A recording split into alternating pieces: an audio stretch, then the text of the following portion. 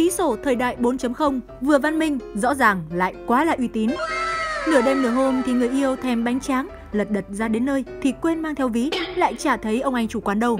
Dù là khách quen nhưng để người khác thấy đi vào rồi cầm hàng đi ra, nó lại không được hay ho cho lắm. Nên anh thanh niên đã nghĩ ra một cách vô cùng bó cần. Sau khi chọn lựa kỹ càng, anh cầm theo hai bịch bánh tráng, vừa sâu mặt, vừa dơ cao món hàng cho nó uy tín.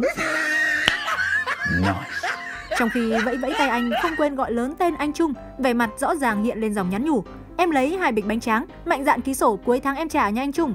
Nhìn hành động vừa đáng yêu lại cực kỳ văn minh của chàng trai, cộng đồng mạng không ngớt lời khen ngợi. Nợ thì nợ, nhưng uy tín vẫn phải đặt lên hàng đầu thì mới nợ được lâu dài chứ nhở? Hảo thanh niên, thời đại 4.0 rồi nên ký sổ nó cũng phải à, tầm cỡ như thế. Em dâu là việc của em, còn xem hay không là việc của anh nha anh Trung. Ôi trời ơi các bạn nghĩ sao về tình huống này? Kể mà không có camera thì à, không biết anh chàng này sẽ ký sổ kiểu gì nhở? Cảm ơn các bạn đã theo dõi 8TV, ủng hộ kênh bằng cách like, share và subscribe mỗi ngày để cập nhật thật nhiều tin tức bạn nhé.